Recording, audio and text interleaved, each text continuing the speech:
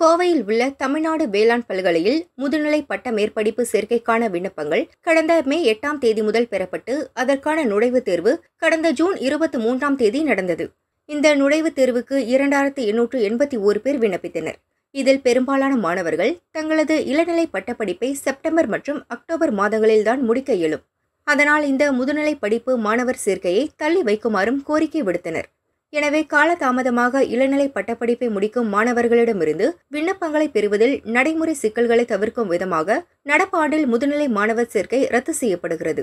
எனவே விண்ணப்பித்த மாணவர்களிடமிருந்து பெறப்பட்ட அனைத்து கட்டணங்களும் அவரவர் வங்கிக் கணக்குகளுக்கு திருப்பி செலுத்தப்படும்.